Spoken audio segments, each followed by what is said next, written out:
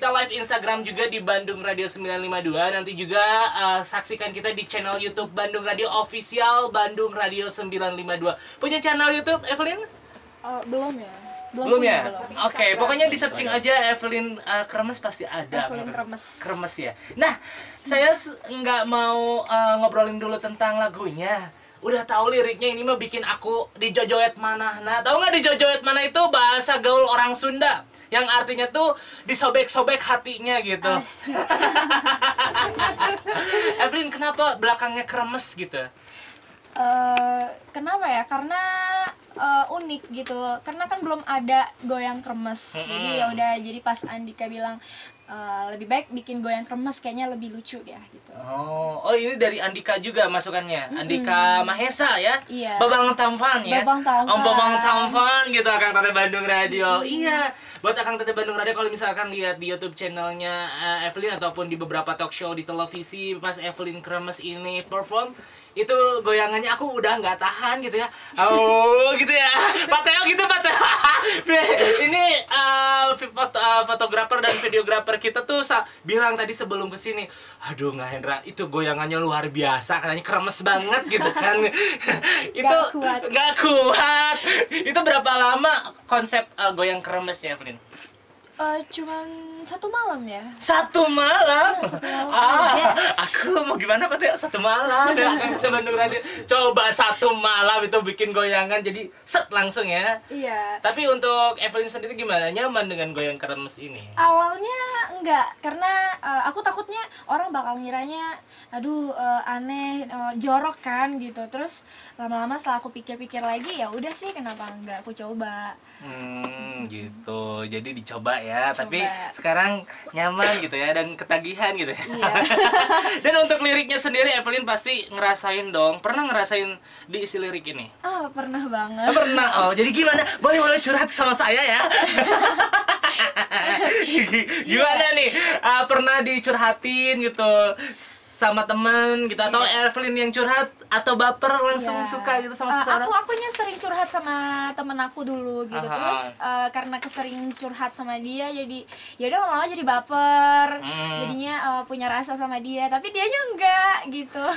Pak Teo, kamu mau? Akhir Teteh Bandung Radio pasti mau ya. Kalau saya dicurhatin dan Evelyn mau sama saya, saya nggak akan nolak yuk langsung ke KUA aja gitu kan. Akan Teteh Bandung Radio follow Instagram eh, Evelyn di mana Evelyn?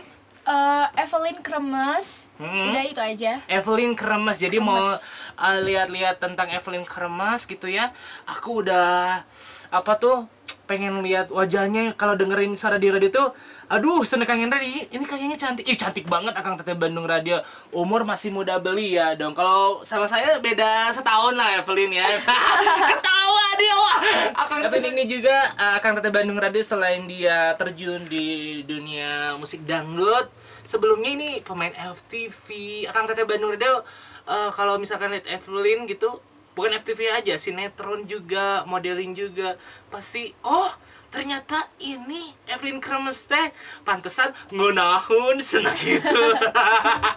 Evelyn gimana Ya. nih antara misalkan uh, dulu kan di dunia acting seni peran gitu mode- modeling sekarang dunia yang baru dangdut walaupun masih di dunia seni ya. Iya. gimana perasaannya dan mengatur waktunya Evelyn Eh, untuk pertama kali terjun sih aku agak bingung juga kan gitu.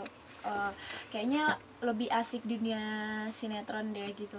Karena eh, capek nyanyinya ba- baru nyanyi satu lagu aja aku udah ngos-ngosan gitu gimana untuk banyak lagu gitu tadinya, tadinya. pertamanya tapi setelah ke sininya ternyata udah nyaman banget Oh, gitu. jadi enjoy enak aja sih ternyata Oh siap. Sekarang malah lebih sebentar nyanyi daripada main sinetron. iya Tapi kalau ngatur waktunya nggak keteteran, Flynn? enggak sih karena kan udah diatur sama manajemen Oke, siap. Pertama nih dapat lagu ini, apakah Evelyn langsung berpikir terlebih dahulu lihat liriknya atau langsung deal gitu? Oh iya, pertama aku aku dengerin dulu lagunya. Oh ternyata enak juga nih ya kan. Ya udah pas aku udah ta- eh, udah hafalin ininya, aku bilang sama Mijana, bagus kok aku udah hafal gitu. Ya udah langsung rekaman. Oh, gitu, langsung Iya, rekaman. langsung rekaman. Berapa lama tuh? Cuman dua hari ya om. dua hari dua hari aduh Kang Teteh Bandung Radio. Bener-bener ini mah bukan eh, lagunya aja yang baper penyiarnya juga baper Kang Teteh Bandung Radio. Lihat Evelyn. Aslina kamu lamun goyang kremes ya? Betul nggak Kang Teteh Bandung Radio? Wah nanti itu mah bagian saya. Sekarang Indra mau nanya lagi nih sama Evelyn. Evelyn eh, Evelyn kan masih muda nih. Sekarang umur 23 tahun kalau menurut terawangan saya gitu ya. Tapi emang benar Oh, yang bener ya. Oke. Di umur 23 tahun nih ekspektasi ke depannya nih Evelyn di musik dangdut sendiri. Apa sih ekspektasinya? Kan ini dunia baru seorang Evelyn nih. Sebelum-sebelumnya FTV, sinetron yang ah udah biasa lah ba- baca naskah, reading seharian. Iya. Dan ini harus lihat audiens live langsung nyanyi goyang bareng gitu Iya. goyang kremes bareng. Mau tahu goyang kremesnya gini lah. Ah gitu. Kakak teteh Bandung Radio. Nanti lihat di channel YouTube kita pokoknya pastinya semuanya ada. Gimana Flynn? Ya aku berharap sih semoga lagu aku diterima sama masyarakat ya pastinya. Eh, sukses terus dan semoga nanti aku bisa ngeluarin single berikutnya. Mhm. ya pokoknya eh, sukses untuk lagu baper. Sukses untuk lagu baper Akang Teteh Bandung Radio